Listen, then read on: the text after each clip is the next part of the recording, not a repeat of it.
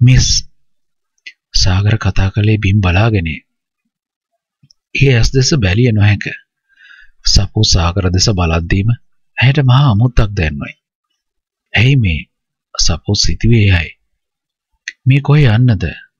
එයා අද අභ්‍යන්තරෙන් එන බියකි, දුකකි. මම මං මිස් ටවුමට ගිහින් එන්නම්. දැන් රෑ වෙන්නත් ආවා. ඇරත් අද සීතලයි හරියට. කමක් නෑ මිස්. මං ගිහින් එන්නම්. ඔය අන්නේ අදහස කට්ටියක් එන නිසාද? නැත්තම් තාත්තා එන නිසාද? ඉක්මනට එනවා නේද? සාගරයට පිළිතුරක් දුන්නේ නැත.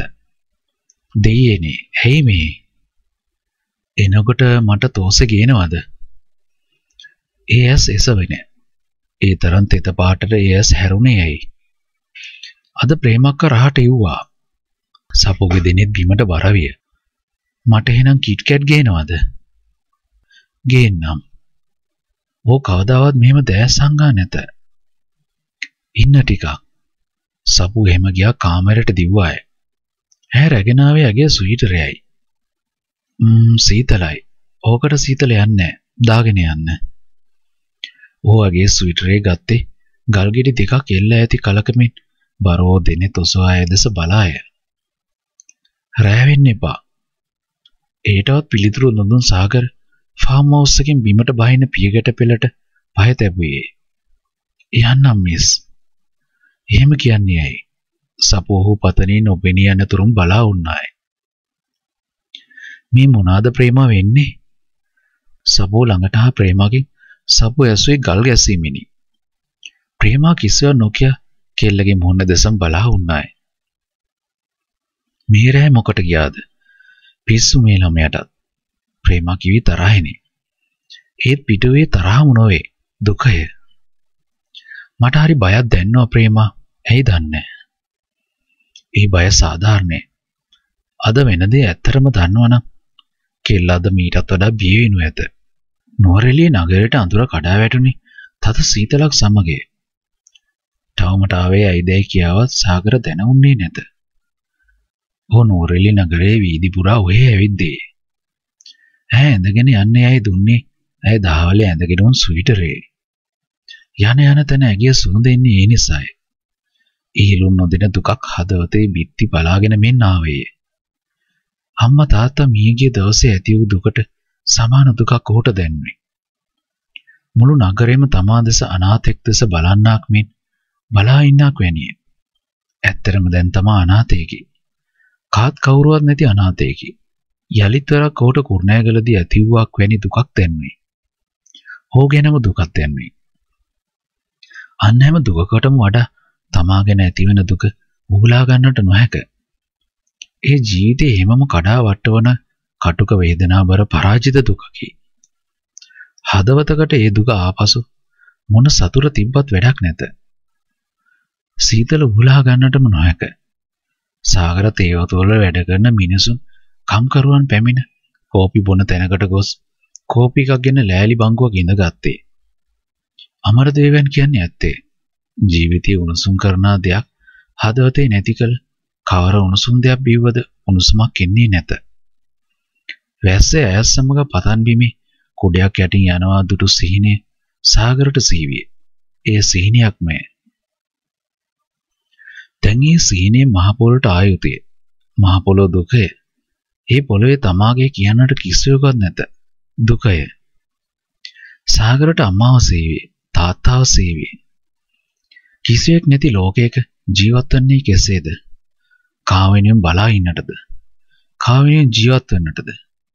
ජීවිතේ සතුට ඇත්තේ තමා තුල නොවේ. ජීවිතේ ළඟ ඉන්න අය ළඟේ. ජීවිතේ ළඟ කිසිවෙකු නැත්නම් ජීවිතයකට සතුට කොහෙන්ද?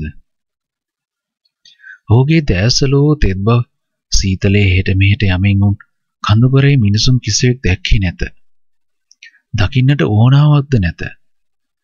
සාගර පයින්ම ෆාම් හවුස් එකට යන්නට විය. මෙතන සිට ෆාම් හවුස් එකට සෑහෙන දුරක් ඇත. යන ගමන් පට්ටිපොළ ස්ටේෂමේ මුරමාමාවද හමුවේ යනවා යයි ඔහු සිතාගත්තේ. ලොකු බණ්ඩාර බහුලාවේ රාත්‍රී 4ට පමණය. ඔවුන් ආවේ නවීනතම වර්ගයේ ජීප්‍රිය කෙනෙක්. ඒ ෆාම් හවුස් එකේ ඉදිරිපිට නවත්තද්දීම දයාසිරි මහතා බැලුවේ සුජාතා දෙසේ. "ඕ ඇයි බෙමි ඉහළට නංවා බිම බලාගත්තේ?" හිතුවට වඩා යමක්කමක් තියෙන කට්ටිය නේද ජයන්ත? දයාසිරි මහතා ඇසේ ඔහුගේ පුතා වූ ජයන්තගෙනි. සපු තාමත් මේ කිසිවක් දැනුන්නේ නැත. බණ්ඩාර වලින් භාගයක් එයාලගේ තාත්තේ ළඟදී අලුතින් අක්කර ගානක් ගත්තත් ඒක දාන්න. ආ ජයන්තත් දෑසිරි මහතත් ඉදිරියට ගොස් ලොකු බණ්ඩාර පවුල පිළිගත්තෝය. දුටුවනම ඔවුන් වැදගත් පවුලක සුජාතාට සිතුනි. මේ මගේ වයිෆ් මිස්ටර් බණ්ඩාර මේ මගේ තාත්තා. මිස්ටර් දිසානායක ගැන අපි හරියට අහලා තියෙනවා. එන්න එන්න. සුජාතා මේ මිස්ටර් ලොකු බණ්ඩාර මේ මිසිස් ජයන්ත මහත්තයාව දැක්කට අපි නෝනාව දැකලා තිබ්බේ නෑනේ. ලොකු බණ්ඩාර මහත්තයා කීවේ සුජාතාට ආයුබෝවන් කියමිනි. මේ මගේ දුව. ජයන්ත සපුව අල්ලාගෙනම කීවේ. ලොකු බණ්ඩාරියවල කෙල්ල දෙස බලා වුණේ ආශාවෙනි. අපි දන්නේ නෑනේ ජයන්තන මෙච්චර ලස්සන දුවෙක් ඉන්නවා කියලා. කොහොමද දුවේ? සපු සුන්දර වුණා සිනාසුනයි. ලොකු බණ්ඩාර මහත්මිය කෙල්ලගේ සිරියාන්ත මුහුණ දෙවතාවක්ම සිප ගත්තයි. කෝ පුතා මිස්ටර් ලොකු බණ්ඩාර? ජයන්ත ඇසුවේ. ආවා ආවා. එයාගේ නංගිගෙන් හදිස්සිය ඕස්ට්‍රේලියාවේ ඉඳලා කෝල් එකක් ආවා. අයියයි නංගි හරි එකතුයි. නෝනා පුතාව එක්කන් එන්න. සපු බැලුවේ අම්මා දැසේ. ඇයට මොකද්ද ඉවෙන්මෙන් දැනුනේ. එහෙම මගේ දෙනෙත් ගියේ ෆාම් හවුස් එකේ ඉදිරිපිට නවතා තිබු වාහනින් පිටතට රුවක් වෙතට. මද අඳුර නිසා ඌ හරියට පෙනෙන්නේ නැත. ටිකකින් ලොකු බණ්ඩාර මහත්මයා සමග ඌ සාලේට ආවේ. සපෝ දෙනෙත් ඔසව ඌ දෙස බැලුවාය. ජනිත් ලොකු බණ්ඩාරගේ දෙනෙත් වලට කෙලින්ම හසුවේ ශ්‍රීදාතා ළඟ වුන් සපුවය. හදිස්සියේ තමා වෙත එල්ලෝ මේ ආගන්තුක බැල්මින් සපුව ඇත්තරම කැළඹුණාය. ඇය අමාරුවෙන් සිනාවක් පා එහෙමම බිම් බලාගත්තාය. පපු කොර ඇතුළාන්තයේ කුමක් හෝ බීජනක දෙයක් හිරවිය ඇති බවක් කෙල්ලට දැම්මේ. එන්න පුතා. ජයන්ත ජනිත්ට කතා කළේ ගෞරය මුසු ආදරයකිනි. මේ ඉන්නේ පුතා ජයන්ත අංකල්ගේ වයිෆ්. මේ දුව. කොහමද ඇන්ටි? ජනිත් දෑතම එක්කොට සුජාතාට ආචාර කළාය. ඊටත් පසු ඔහු බැලුවේ සපෝ දෙසේ. ඔහු දෑත් එක්කර සපෝටත් ආචාර කළාය. සපෝහට ආයුබෝවන් කීවි යාන්තමට දෙන්නේ තොස්සවාය. අද හොස්පිල් ගියේ නැද්ද පුතා? ගියා අංකල්. තාම අපි අලුත්නේ. වැඩිපුර දාන්නේ OPD එකට. ඔහු ජයන්ත සමග කතා කරද්දී සපෝ යන්තමට ඔහු දෙස බැලුවාය. ඔහුට තිබුණේ අවුරුදු 28ක 9ක පෙනුමේ. හී නිල්ලිරිගිය අද්දික කමිසයක් ඇඳවුන් ජනිත් ඉතින් ආවේ වැදගත් පෙනුමකි. පුතා දිගටම ගවමන් හොස්පිටල් වල ප්‍රැක්ටිස් කරන්නද හිතුවේ? දිගටම කරන්න හිතුවේ නෑ අංකල්. එයාගේ ආසාව තියෙන්නේ පොඩි ප්‍රයිවට් හොස්පිටල් එකක් දාගන්න. මං කැන්ඩි වලින් හොඳ ඉඩමකුත් බල්ලා තියෙන්නේ ජයන්ත. එසේ කිව්වේ ජනිත්ගේ පියාය.